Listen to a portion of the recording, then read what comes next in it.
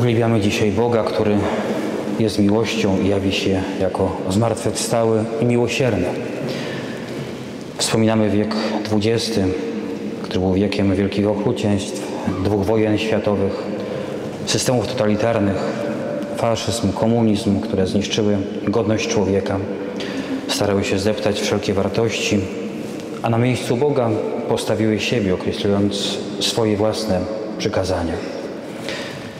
W tym wieku XX zginęły niewinnie miliony ludzi na całym świecie w imię chorej ambicji i szatańskich ideologii. Był to wtedy dla chrześcijan czas bardzo trudny, naznaczony prześladowaniami i męczeństwem ogromnej liczby wierzących, kapłanów i osób świeckich w różnych krajach. Z jednej strony dochodziło do przerażającego skumulowania zła i nienawiści, natomiast z drugiej, z woli samego Chrystusa, zaczęło na nowo rozbrzmiewać orędzie o Bożym miłosierdziu. W środku tych szalejących, wrogich ideologii Bóg przypomniał się światu, że mimo szalejącego zła, które obficie zbiera swoje żniwo, jednak ostatnie słowo należy do Niego. Za przyczynę siostry Faustyny Bóg zapragnął przypomnieć światu, w którym zło zbierało swoje niepojęte żniwo, że jest Bogiem miłosiernym i przebaczającym. Mówił do niej: Mów światu o moim wielkim i niezgłębionym miłosierdziu. Powiedz, że miłosierdzie jest największym przymiotem Boga.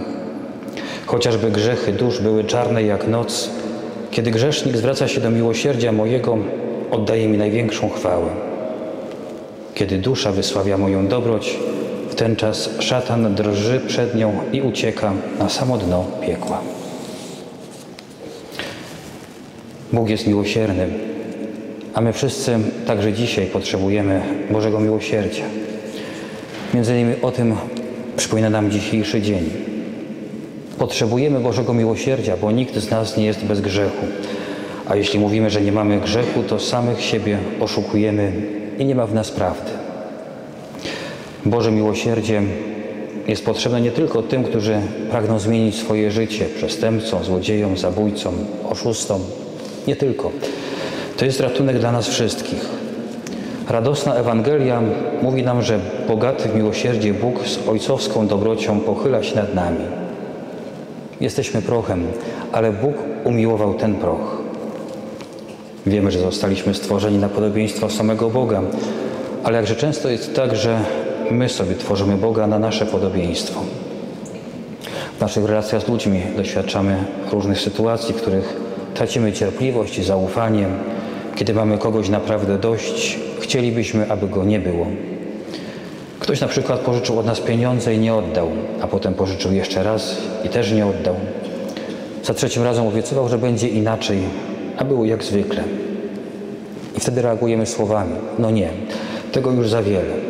Teraz nie dostaniesz ode mnie już ani kopiejki. Straciłem do ciebie zaufanie. Podobnie, że, podobnie może być z kłamstwem, przez jakie tracimy do kogoś zaufanie. Ktoś mnie okłamał raz, drugi i w końcu przestajemy mu wierzyć. Zawiodłeś mnie wiele razy, więc koniec. I często, kiedy kierujemy się takimi obyczajami, żyjąc w takim świecie, jakoś podświadomie możemy zdobyć przekonanie, że Bóg jest taki sam. Raz obiecałem poprawę i znowu zgrzeszyłem. Drugi raz i trzeci i znowu upadłem. Obiecałeś w konfesjonale, że już nigdy, że to było wyjątkowo, a po tygodniu to samo, jeszcze gorzej. Wtedy przychodzą myśli, Bóg ma mnie już dość, już mnie skreśli, więcej mi nie zaufa, nie wybaczy. I nawet na Boga nie narzekamy, bo my byśmy to samo zrobili. Jednak rzecz jest w tym, że On nie jest taki jak my. Myśli Boga nie są naszymi myślami. Postawa Jego miłości, miłosierdzia nie jest podobna do naszych zachowań wobec bliźnich.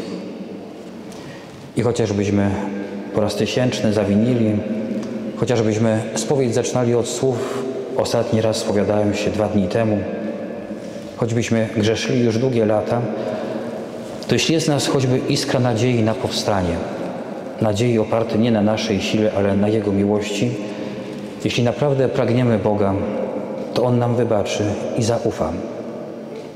Wielu świętych, te szkoły chrześcijaństwa przerabiało w swoim życiu dziesiątki, a może nawet setki razy. Dlatego problemem człowieka nie jest w istocie sam grzech, ale to, co robi po grzechu, czy raczej to, co z tym grzechem dalej robi. Zwycięstwo nad grzechem to jest natychmiastowy powrót do Boga i zachwycenie się Jego miłosierdziem. Czasem wydaje się nam, że najlepsza reakcja po obrażaniu Pana Boga przez nas to jest przez grzech to smutek. Jest to naturalne uczucie, które świadczy, że grzech jeszcze nie jest nam obojętny. Ale zwycięstwem szatana byłoby to, gdyby ten smutek odebrał człowiekowi wiarę w Boże miłosierdzie. Bruno Ferrero napisał takie piękne opowiadanie o potężnym królu, który powiedział kiedyś do starego kapłana. Mówi, że jeśli człowiek, który przez sto lat czynił wszelkie możliwe zło, poprosi przed całą śmiercią Boga o przebaczenie, zdoła się odkupić i wejdzie do nieba. Natomiast człowiek, który popełnił tylko jedno wykroczenie, a nie okaże wobec niego swej skruchy, zostanie wtrącony do piekła. Czy to sprawiedliwe? Czy to znaczy, że sto przestępstw waży mniej aniżeli jedno? Stary kapłan odpowiedział wtedy królowi: Jeśli wezmę jeden kamień i wrzucę go w jezioro, pójdzie na dno, czy utrzyma się na powierzchni?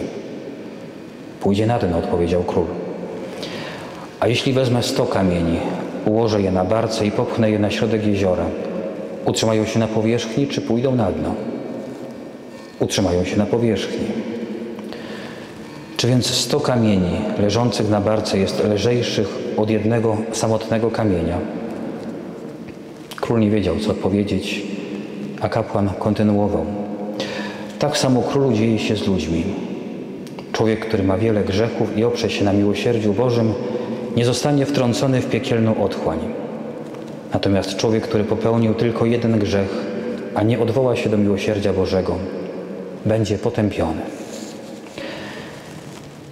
I Bruno Ferrero kończy swoje opowiadanie bardzo ważnym przypomnieniem. Nie odkładaj jednak pojednania z Bogiem na ostatni dzień swojego życia, bo możesz nie zdążyć. Dzisiejszy dzień to święto prawdziwej radości. To wyznanie w to, że Chrystus jest miłosierny, że On rzeczywiście pokonał grzech w świecie i w moim sercu. Jezus wziął nasze grzechy na siebie i pokonał śmierć.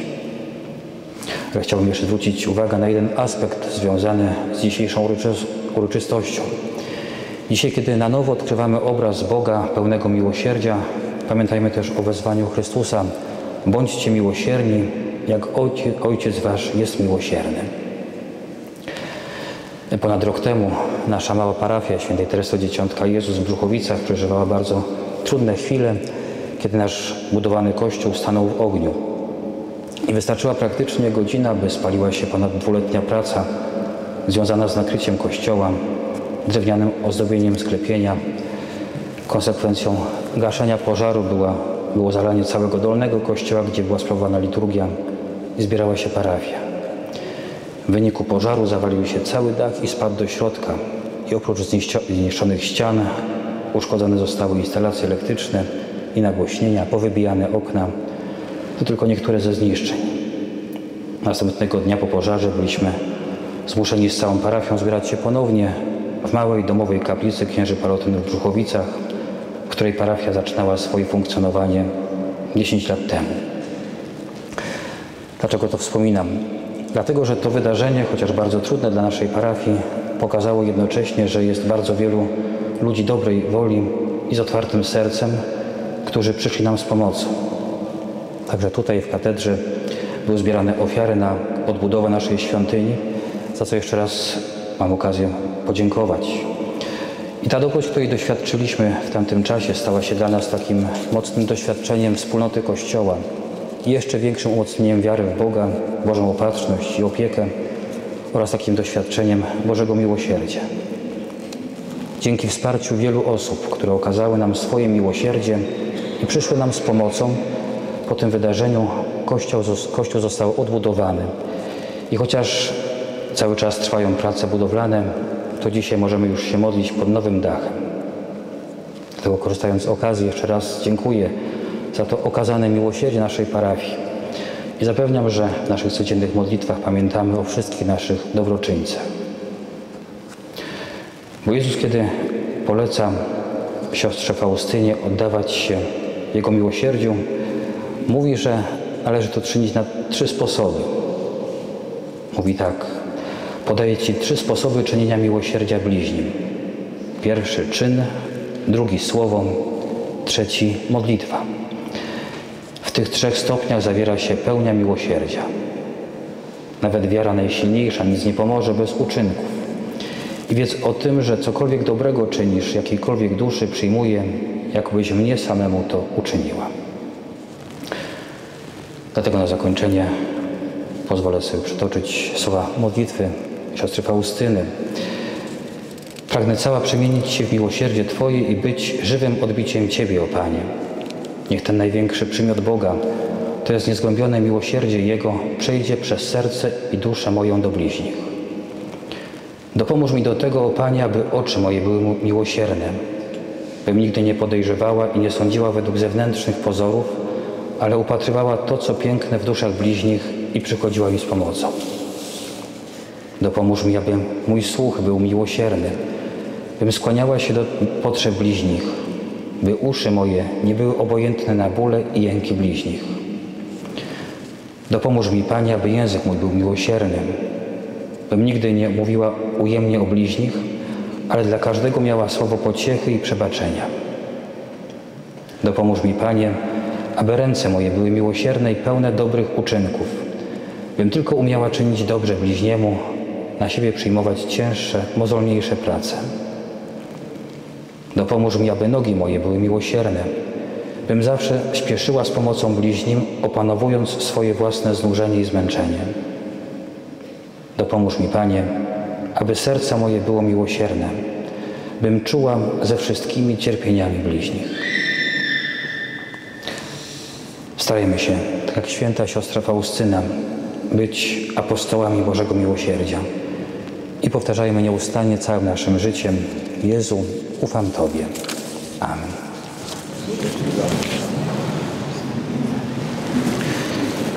Wierzę w jednego Boga,